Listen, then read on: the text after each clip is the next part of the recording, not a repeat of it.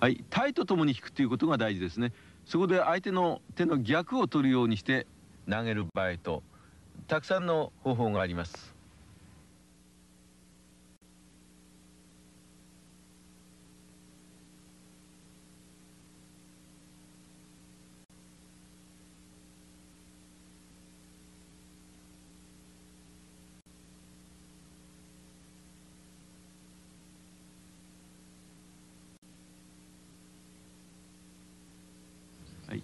えー、鳥はですねここで首とで左手で持って相手の右手を挟むことが大事ですね。そうして投げます。